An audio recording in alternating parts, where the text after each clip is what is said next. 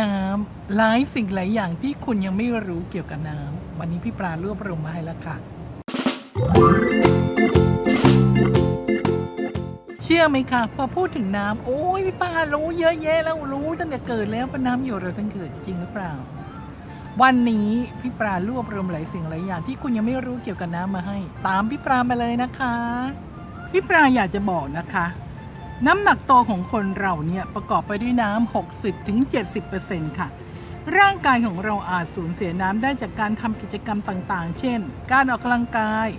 การดื่มน้ำจึงเป็นสิ่งสำคัญนะคะ และจำเป็นเป็นอย่างมาก แต่คนส่วนใหญ่ก็ยังไม่เข้าใจค่ะอีเราจะดื่มม้ามากไปน้อยไปหรือเปล่า วันนี้พี่ปลาก็เลยรวบรวมมาให้เลยนะคะว่า เราเนี่ยยังมีสิ่งที่ยังไม่รู้เกี่ยวกับน้ำอะไรบ้าง ตามพี่ปลามาเลยนะคะ พี่ปราคะพี่ปราคะประโยชน์ของการดื่มน้ำมีอะไรบ้างตามพี่ปรามาเลยค่ะพี่ปราอยากจะบอกเลยนะคะว่าน้ำเป็นปัจจัยสำคัญต่อกระบวนการทำงานภายในร่างกาย เช่น การล้างสารพิษออกจากอวัยวะ หรือการนำสารอาหารออกซิเจนไปสู่เซลล์ต่างๆ รวมถึงประโยชน์อื่น ๆ ดังต่อไปนี้คือ ข้อที่ 1บำรุงสุขภาพผิว ข้อที่ 2 ลดน้ำหนัก การดื่มน้ำอาจมีส่วนช่วยให้อัตราการเผาผลาญพลังงานแคลอรี่เพิ่มสูงขึ้น ข้อที่ 3 เป็นส่วนประกอบของน้ำหล่อลื่นข้อต่อค่ะ ข้อที่ 4 มีส่วนช่วยทำให้อัตราการเต้นของหัวใจปกติ ข้อที่ 5 ขับแบคทีเรียจากกระเพาะปัสสาวะ ข้อ 6 เสริมการทำงานของระบบการย่อยอาหาร ข้อ 7 ควบคุมความดันโลหิต ข้อ 8 นะคะ ควบคุมอุณหภูมิในร่างกาย ข้อ 9 ป้องกันความเสียหายของเนื้อเยื่อและอวัยวะต่างๆ ข้อที่ 10 ป้องกันอาการท้องผูก ข้อ 11 รักษาสมดุลของอิเล็กโทรไลต์หรือโซเดียมนะคะ อ้าว พี่ปาแล้วเราควรจะดื่มน้ำวันละเท่าไหร่นะคะ ในทุกๆวันเนี่ยร่างกายเราจะสูญเสียน้ำผ่านการปัสสาวะเหงื่อการหายใจ หรือเรื่องอื่นๆ การดื่มน้ำเพื่อทดแทนในส่วนที่สูญเสียไปจึงเป็นเรื่องสำคัญนะคะ แต่การดื่มน้ำในปริมาณที่เหมาะสม อาจเป็นเรื่องที่สำคัญยิ่งกว่า ราะหากดื่มน้ำมากเกินไปหรือน้อยเกินไป ก็อาจจะส่งผลกับร่างกายของเราได้นะคะ เอาแล้วพี่ปาเราควรจะดื่มอย่างไรล่ะคะ อย่างที่เราทราบกันง่ายๆที่เขาจะพูดกันแล้วก็ดื่มวันละ8แก้วค่ะ ดื่มไม่เพียงพอต่อความต้องการของร่างกายนะคะ พี่ปลาเคยทำในเรื่องของคลิปน้ำไปแล้ว ปรากฏว่าก็ได้รับการตอบรับเป็นอย่างดีนะคะ เราจะมีสูตรที่คำนวณอย่างชัดเจนเลยค่ะ ว่าเราควรจะดื่มน้ำเท่าไหร่พี่ปลาคะ แล้วช่วงเวลาไหนล่ะคะ ที่เหมาะที่สุดสำหรับการดื่มน้ำเช่นเดียวกันค่ะ วันนี้พี่ปราจะมาแยกแยะให้ฟังเลยนะคะ ถ้าเราดื่มน้ำตอนไหนเนี่ยจะเกิดประโยชน์อย่างไร อย่างที่บอกค่ะ นอกจากเรื่องปริมาณการดื่มน้ำแล้ว การเพิ่มประสิทธิภาพในการทำงานของร่างกายให้ดีขึ้น อาจทำได้โดยการดื่มน้ำในช่วงเวลาที่เหมาะสมดังต่อไปนี้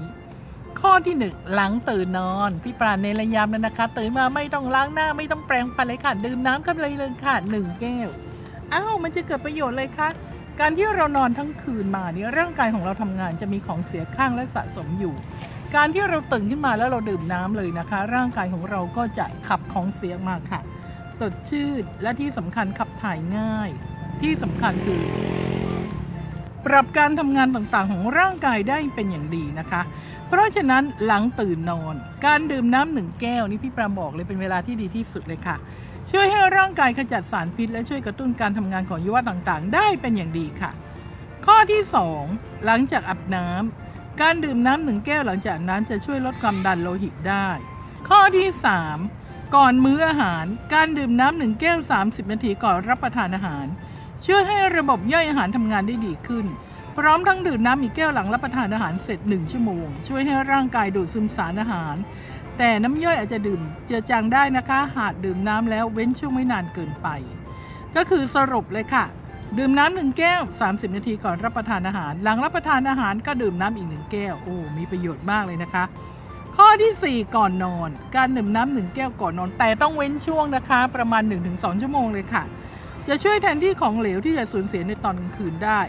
แต่ที่สำคัญมากๆและมาก ๆก็คืออะไรคะ เราจะต้องเข้าห้องน้ำให้เรียบร้อยก่อนนอนนะคะ ถึงตอนนี้นะคะ พี่ปรายอยากจะให้แชร์ก็คิดเห็นแชร์ประสบการณ์แชร์สิ่งดีๆกันค่ะ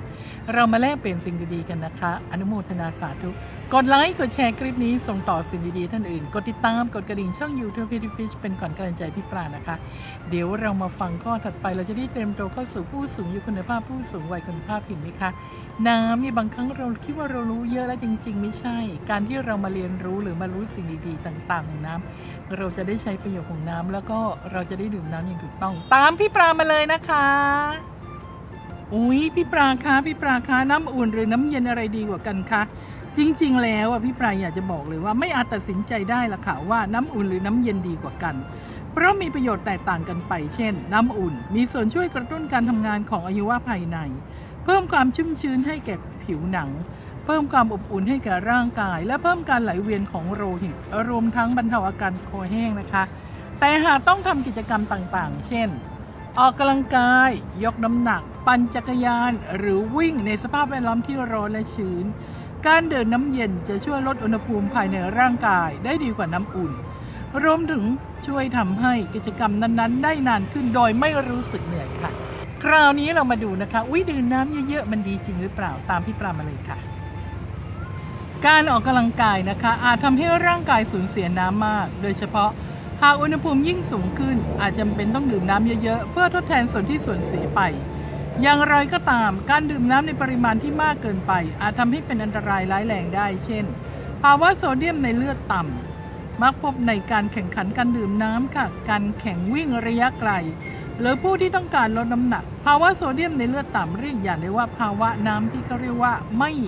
ปลอดภัยค่ะ หรือภาวะน้ำเป็นพิษ เกิดขึ้นจากการดื่มน้ำปริมาณที่มากเกินไปในช่วงเวลาสั้นๆ โอ้โห บางคนนะคะ ดื่มน้ำรวดเดียวเลยค่ะ เป็นจำนวน 7 ลิตร หรือน้ำ4ลิตรภายใน 2 ชั่วโมง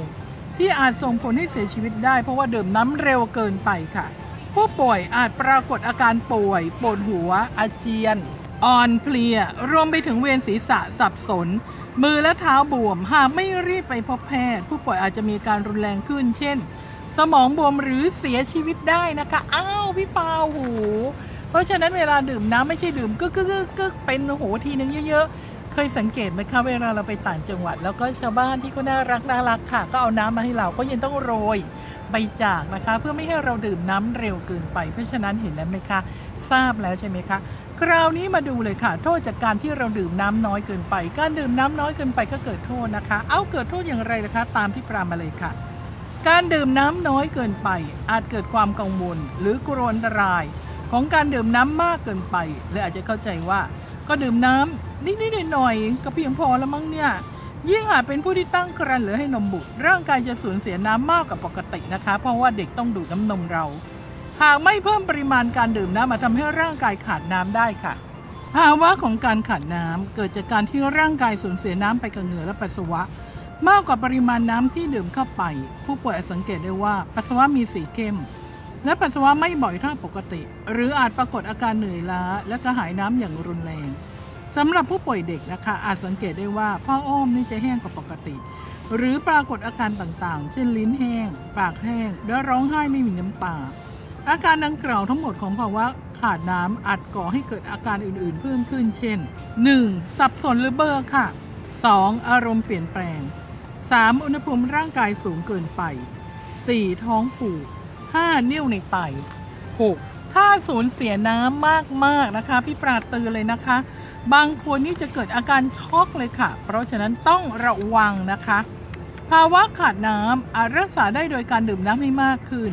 แต่หากอาการรุนแรงควรเข้ารับการรักษาที่โรงพยาบาล แพทย์อาจจะต้องให้น้ำเกลือจนกว่าผู้ป่วยอาการจะดีขึ้นนะคะ ถึงตอนนี้พี่ปรายอยากจะบอกและเน้นและย้ำนะคะ อะไรที่มากเกินก็ไม่ดี อะไรที่น้อยไปก็ไม่ดีเราต้องเดื่มใส่กลางนะคะ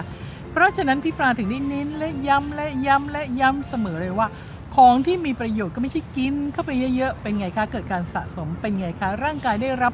แต่อาหารชนิดเดียวได้รับแต่สิ่งที่เป็นปริมาณเดียวมันไม่เกิดประโยชน์นะคะ เราต้องรับประทานอาหารให้หลากหลาย เราจะต้องมีสิ่งดีๆ ในร่างกายที่เรียกว่าสมดุลค่ะ ถึงตอนนี้พี่ปรายอยากจะบอกว่ากลับมาดูแลตัวเองนะคะ ย้ำอีกแล้วเป็นรอบที่ไม่รู้เท่าไหร่เลยนะคะ ใครที่ไม่เคยตรวจสุขภาพประจำปี ไปตรวจสุขภาพประจำปีนะคะ เช็คตัวเอง ตรวจดูซิว่าตัวเองเป็นอย่างไร และเราจะได้เป็นพื้นฐานการดูแลรักษาตัวเองที่อย่างถูกต้อง หมอที่ดีที่สุดคือตัวเราเองนะคะ ไม่ใช่หมอที่อื่นเลย ดูแลตัวเอง เดี๋ยวเรามาฟังกันต่อเลยนะคะ ก่อนที่เราจะบอกว่าโอ้ยเรารู้จักน้ำเป็นอย่างดี อะไรที่เรายังไม่รู้พี่ปลารวบรวมมาให้แล้วค่ะ ตามพี่ปลามาเลยค่ะ รู้ได้อย่างไรว่าดื่มน้ำเพียงพอแล้ว วิธีที่ง่ายที่สุดคือการสังเกตค่ะผู้ที่ดื่มน้ำเพียงพอต่อความต้องการของร่างกาย จะขับถ่ายสะดวกและปัสสาวะนะคะ ก็จะมีสีเหลืองใส พี่ปราณเน้นและย้ำนะคะ ปัสสาวะจะมีสีเหลืองใส แต่ผู้ที่ดื่มน้ำไม่เพียงพอ จะมีปัญหาการขับถ่ายหรือท้องผูกและปัสสาวะมีสีเข้มค่ะ แต่หากมีปัญหาสุขภาพเช่นมีปัญหาเกี่ยวกับไตหรือภาวะหัวใจล้มเหลว ควรปรึกษาแพทย์ก่อนเพิ่มปริมาณน้ำดื่มนะคะ เพราะมีผลต่อร่างกายมากๆ ถึงตอนนี้พี่ปราอยากจะเน้นและย้ำนะคะ การดื่มน้ำที่ดีและปลอดภัยถ้าใครมีโรคประจำตัวเช่นเป็นโรคไตโรคหัวใจนะคะ หรือเป็นโรคที่เกี่ยวกับการทำงานหัวใจเนี่ยการจะดื่มน้ำนี่ต้องปรึกษาแพทย์นะคะไม่ใช่ว่าโอ้พอพี่ปาบอกดื่มน้ำนี่ก็ดื่มดื่มดื่มไม่ใช่นะคะ ต้องให้เหมาะกับตัวเองด้วย เพราะถ้าหัวใจทำงานหนักเกินไปไตทำงานหนักเกินไปก็จะเกิดผลเสียวันนี้พี่ปาบอกถึงบอกกลับมาดูแลตัวเองนะคะ กลับมาดูแลสุขภาพของเราอย่ารอจนสาย อย่าลืมค่ะ แชร์ข้อคิดเห็นแชร์ประสบการณ์แชร์สิ่งดีๆกันนะคะ มาแลกเปลี่ยนสิ่งดีๆกัน กดไลค์กดแชร์คลิปนี้ส่งต่อสิ่งดีๆท่านอื่น กดติดตามกดกระดิ่งช่อง YouTube ให้ที่ฟิชเป็นขวัญกำลังใจพี่ปรานะคะ แล้วเราจะรู้ว่าอื้อหือชีวิตเราจริงๆมีความสุขมาก เตรียมตัวเข้าสู่ผู้สูงอายุคุณภาพ ผู้สูงวัยคุณภาพมาเป็นครอบครัวสุขภาพเดียวกันนะคะ เชื่อพี่ปรานะคะ กดไลค์ กดแชร์ กดติดตาม กดกระดิ่งช่อง YouTube Healthy Fit เชื่อพี่ปานะคะ